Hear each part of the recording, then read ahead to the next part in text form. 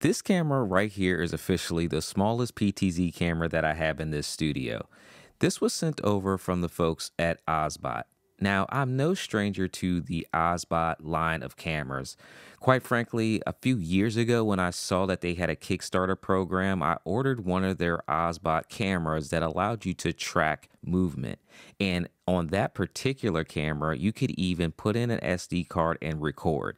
And it was one of the very first cameras that really had AI tracking capabilities. And then I have my latest cool toy. This is the OBSBOT uh, tail, and this actually goes around and follows you um, automatically. It has nice AI tracking built into it, so I'm actually going to start taking that when I do more uh, in-person live training events and I don't have a camera person with me. I can actually just take that, set it up on my tripod, and it follows me around.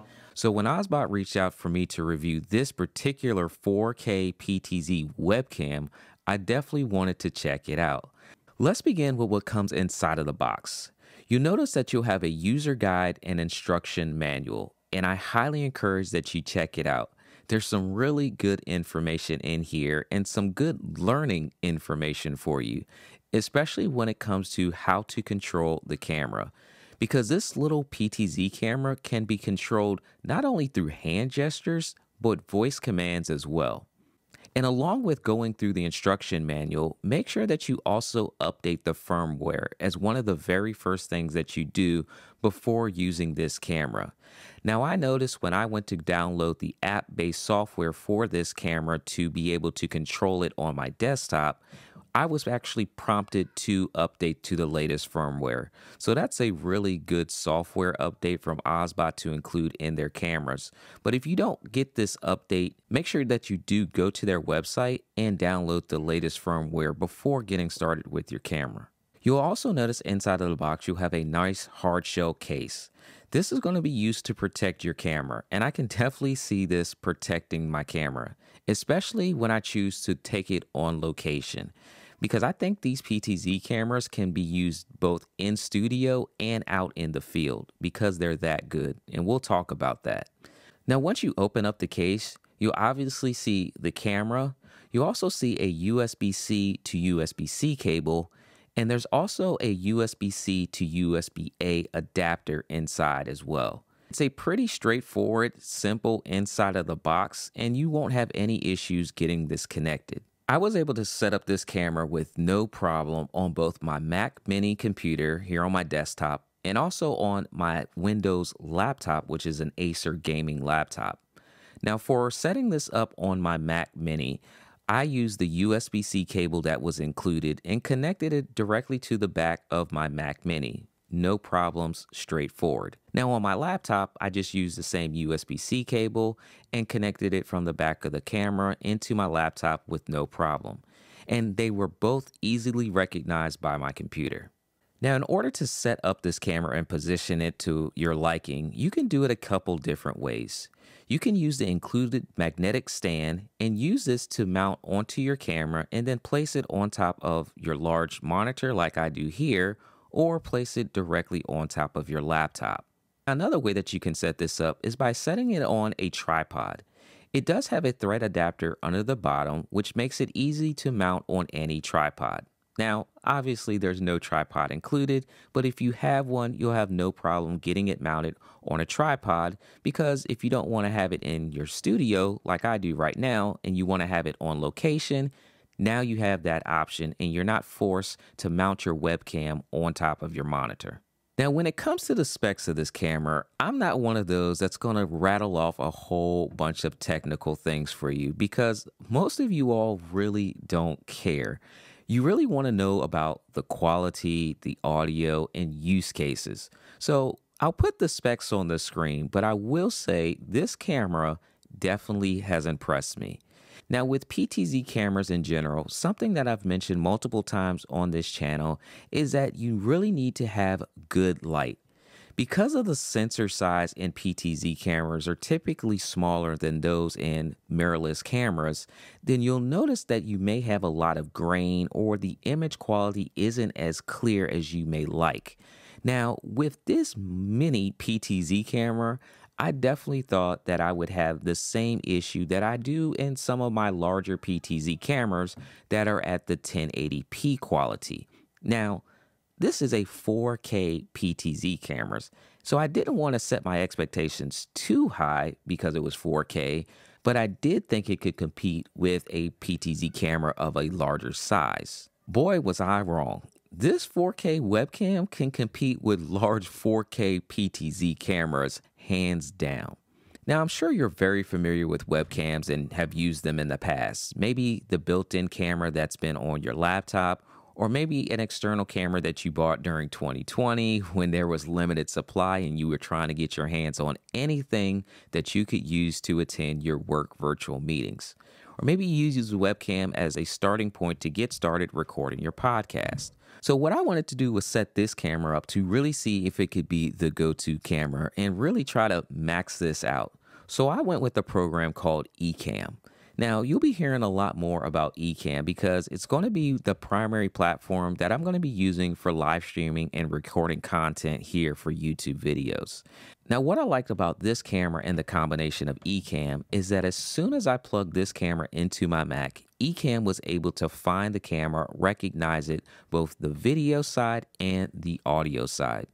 And with the click of a button, I was able to hit record on Ecamm so that you guys can see the footage coming directly out of this camera.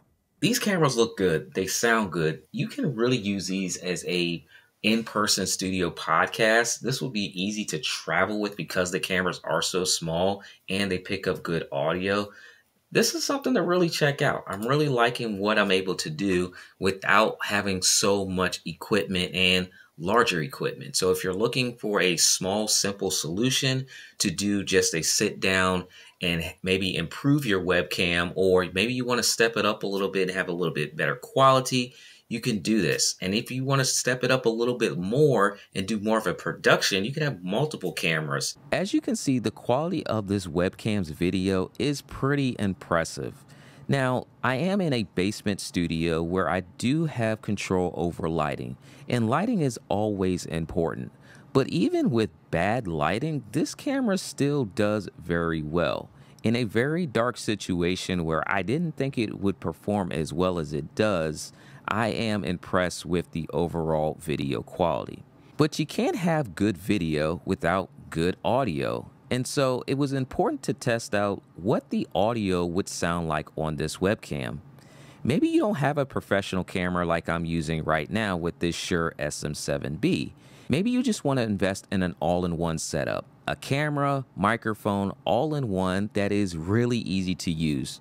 Or maybe in some cases, having that audio backup on that camera is something that you're interested in as well.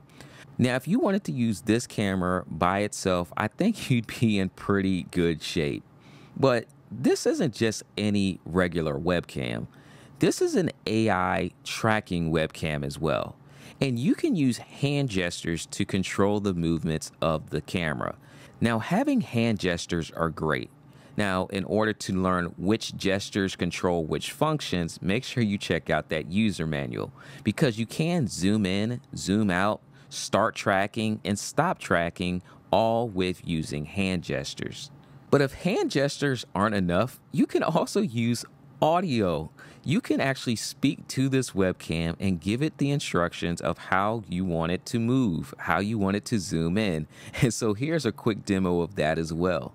This webcam is unique in the fact that it also responds to voice commands. So in the user instruction guide, you'll find a list of these commands that you can talk to your OBSBOT Tiny 2 and it will respond. So for example, let's try this one.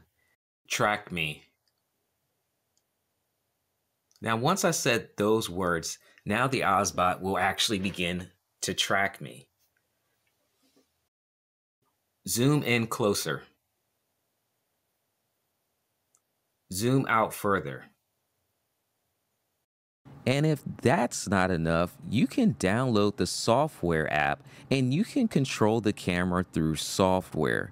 This will allow you to pan, tilt, zoom the camera, move it up and down, left and right.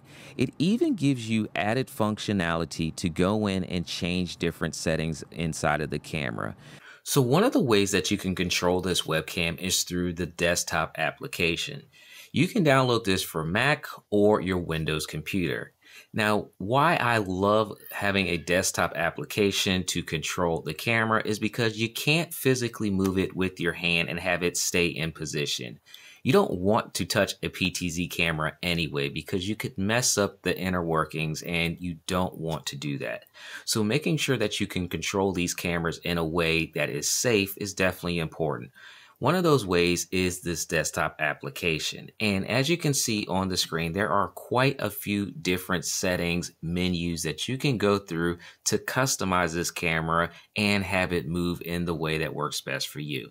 Now, as someone that moves a lot in my space, especially when I'm live streaming on Amazon, doing product reviews and demos and doing a tour of the space, I need to make sure that I can control this very easily and still be able to live stream without it becoming a distraction. So, one of the settings I can definitely see myself using a lot is normal tracking and motion, because this is going to allow the camera to go ahead and track me. Now I can always use the voice commands as well, but if I'm sitting down and I have this open, it's very easy to just click on it. Or if the voice commands don't seem to want to work or the hand gestures don't want to work, I can do it this way. So when you think about that, that's three different ways to control this camera. Some of the other options I see here are upper body, headless, close up, and lower body. And I'm really going to probably use the upper body the most because I want this camera to frame me properly. I want to be in the frame where it just doesn't look obvious that I have no camera operator. I want these cameras to make it seem as though someone is physically behind the camera and controlling it. And having these different options to me is going to give me the best results. There's also a desk mode, a whiteboard mode, a hand mode, and a group mode. And if I had a whiteboard, which is something that it's making me think about, is that it can know that there is a whiteboard in the frame. So this camera is going to be really good for those people that are doing instructions and lessons. So there's a lot of different use cases for this webcam. Now down below we have access to the gimbal and this will allow you to just simply reposition the camera in the way that works best for you. So I can move this all around this space but ideally I want to frame it up just right for this video and if you want to reframe it you can simply use the gimbal in this app. So definitely play around in the app take a look at all the different settings that you have access to the autofocus, the exposure, anti-flicker, white balance settings. So you can really fine tune this, even adjusting the contrast, saturation, sharpness, and hue to have those different effects. So you could make it look as wild as you want with this camera just by making the necessary changes inside of this app. And if those three ways of controlling this camera was not enough, you can even control it with a remote control. All you have to do is pop off the back of the remote and take the USB dongle that's on the inside, plug it into the computer that you're using for this camera, and do make sure that you have some batteries because it does not come with batteries. And now you can control this camera with a dedicated remote control. Now, you have all kinds of flexibility in how you can use this camera. So, not only is the audio great, the picture quality is phenomenal, and the functionality of controlling it is just four times great because there's four different ways that you can do it to say that I'm impressed with this camera is an understatement because it blew away my expectations of the word webcam. And if you ever used a webcam, you know that you're not getting the best quality all the time, all the way around. Even the webcam on my expensive gaming application just acts crazy sometimes. Trying to record my webcam and using that camera for emergency situations is not something I ever want to deal with because the video quality is bad, it doesn't work consistently, and it's just not a pleasant experience for the person that's going to be watching my videos. So this little tiny webcam is going to allow me to easily pack it up and take it in my backpack with me and I can always rely on having a really good video quality and if I don't have a microphone I can just rely on the embedded microphone in this camera. But you guys know how we do here in the studio. If you're subscribed to this channel, you know that I have a multiple cameras. And one of the things that I asked OBSBOT is if I could have multiple Tiny 2 webcams to test out a multicam situation. And this is why I wanted to go with Ecamm as the software for demonstrating a situation that you could use these cameras in. Let's say you want to set up a podcast studio with multiple camera angles, or maybe you wanted to record YouTube content with multiple camera angles. Well, because these cameras are simple USB C connections and Ecamm allows you to bring in multiple cameras without a physical hardware switcher, I was able to connect two of these Tiny 2 webcams directly to my computer and have a multi camera setup and just by a click of a button inside of Ecamm, switch between the two camera angles. And what you can really do to take this to the next level is turn on the tracking feature of both of these cameras and then switch between the two cameras, and you really can create an incredible experience for your viewers. They will think that you have multiple camera operators when in fact you just have multiple cameras that have the ability to track you. And with using the right software, you really can make these cameras do some amazing and incredible things and create that video experience that we're all trying to do. If you're using multiple OBSBOT Tiny webcams, you can really get creative. Right now, I have two cameras plugged into my computer and I have them both coming into the Ecamm software. And why I like Ecamm so much is because they make it super easy to switch between multiple cameras without the need for a video switcher.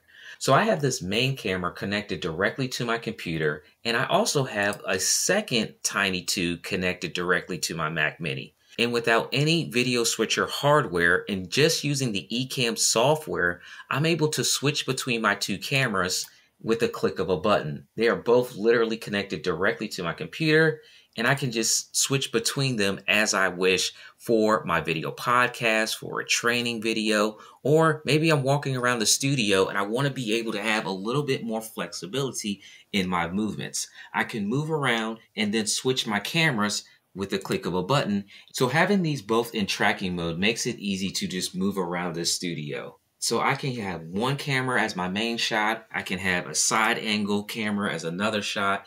And I really have that ability to move around the room, move around the space. Maybe I want to teach, maybe I want to train, maybe I want to demo. Having multiple cameras allows me to do this. This is pretty amazing to be able to just switch between the cameras anywhere I want to. And both of these cameras are actually following, but because they're positioned in two different angles, I have two different effects that I can bring into this video.